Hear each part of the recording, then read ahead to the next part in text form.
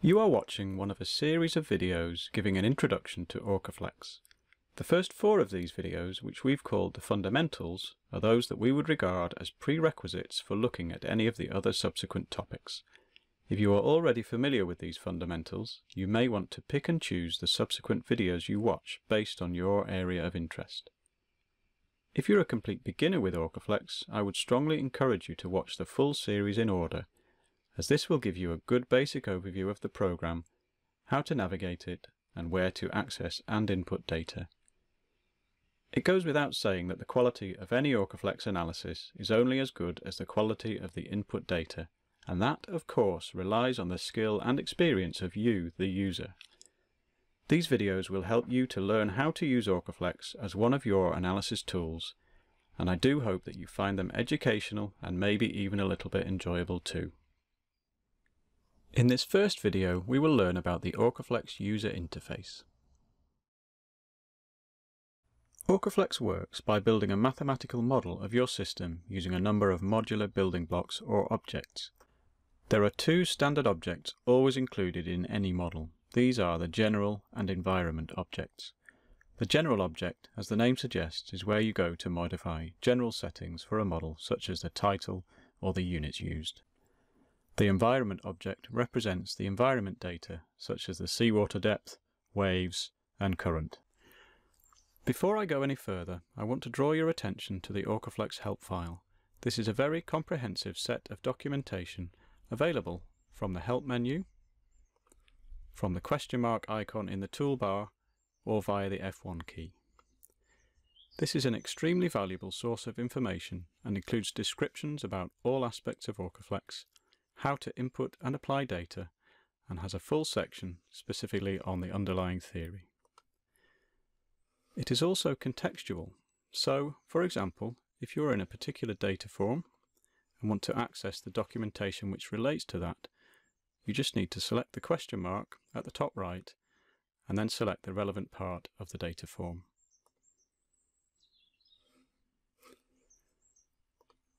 Alternatively, just select the part of the data form you would like to look at the documentation about and press the F1 key. When you first start a new OrcaFlex model, you'll be presented with a window similar to the one I have on screen here. The main part of the window is the 3D view, and this is by default a wireframe view such as you would find in a typical 2D CAD package. You can see a blue and a brown line running across the screen and these represent the sea surface and the seabed respectively. To the left of the view is the model browser. This is where the objects present in a model are listed. And this also includes the general and environment objects already mentioned. And at the top of the screen are the status bar, the toolbar, and the menu. If the model browser isn't open when you first start OrcaFlex, you can open it by pressing the F6 key or clicking on the icon to the right of the Save icon in the toolbar. Moving back to the 3D view, you can navigate around the view by using a combination of keystrokes and mouse actions. Panning across the view is done with the Shift key and the left mouse button. Rotating the view is done with the Control key and the left mouse button. Zooming in and out is done with the control key and the mouse wheel. And it's also possible to zoom in using the Alt key while drawing a box with the left mouse button. Note that the view navigation can also be controlled using some specific options such as rotation by 90 degrees, moving to a plan view. These can be found in a number of places, including up in the View menu. You will see that these options also all have shortcut keys, and personally that's my preferred method for changing the view. For example, Control P moves to a plan view, and Control E moves back to the elevation view. At the left side of each view is a set of view control buttons, and these provide alternative methods for rotating and zooming a view. There's also an option here for changing to something called the shaded graphics mode. This changes the view so it has shading, perspective and hidden lines and objects removed. You can also see this has realistic renderings of the sea, the sky and the seabed. The final view control button is a set of view parameters such as the centre of rotation and the angle of the view. You can also switch between wireframe and shaded graphics here. Again there is a shortcut key for switching the view type and this is Ctrl G. There is also a right mouse button pop-up menu. When in a view, this gives you, amongst other things, a number of the view navigation options I've already mentioned. One of the most useful of these is called Reset to Default View. Selecting this will, by default, reset the view to a wireframe elevation. This option is accessed with the shortcut key Ctrl T and the default view can be set to your preferred view.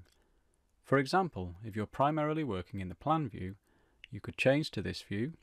I've used the Ctrl P shortcut to do this, and then use the option called Set as Default View, available in the pop-up menu, the View menu, or with the shortcut key Shift, Control and T. Having mentioned several keyboard shortcuts already, it's worth being aware that these are listed in a specific section of the documentation and you can access these directly from the Help menu.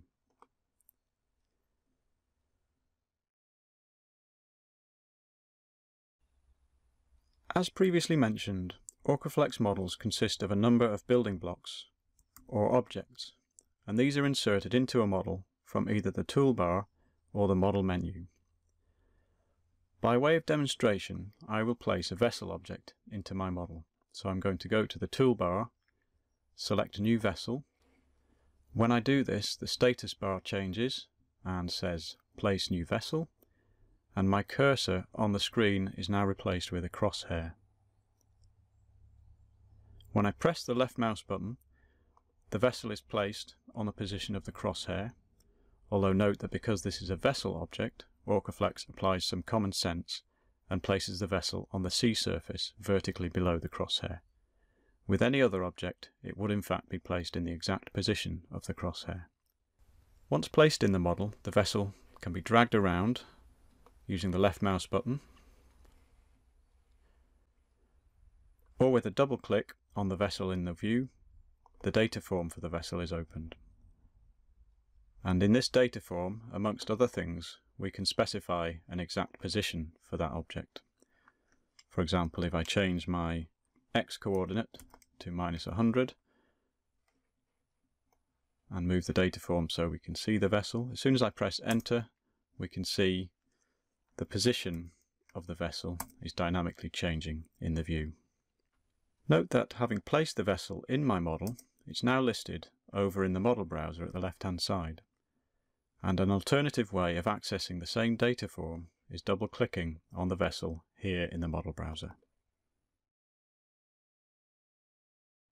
This data form contains all the data that pertains to this specific instance of a vessel, such as its position, whilst there is a further data form that contains data pertaining to this particular type of vessel. This is called the vessel types data form and is accessed, amongst other ways, from this option down at the bottom left. Other objects, such as lines, have a similar hierarchy of data forms. Now we will look at data forms in more detail in later videos, but before we close this one, it's worth highlighting the fact that there is already a great deal of data in this data form. And we haven't actually input any of it in this particular example. OrcaFlex has within it a great deal of default data from the depth of the sea to the type of waves to the mass and length of a vessel.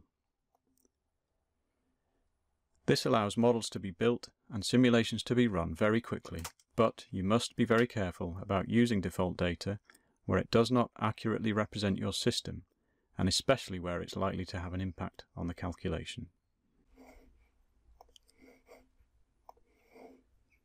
The final part of the user interface I will introduce to you in this video is the global origin. This is the green set of axes at the sea surface in the 3D view. And these have uppercase X, Y and Z letters. And these represent the global origin of the model. When we first place an object into a model, its position will be relative to this axis system. And if we open up the vessel data form again and set the vessel position to 0, 0, 0, note that the vessel moves over the global origin. The global axes can be set to be on or off as a user preference and this is controlled in the Preferences menu. Here you can see there are a number of other sets of axes and we will go on to talk about these in later videos. After watching this video you should now have a basic understanding of the OrcaFlex user interface. The next video in this series will focus on the OrcaFlex objects.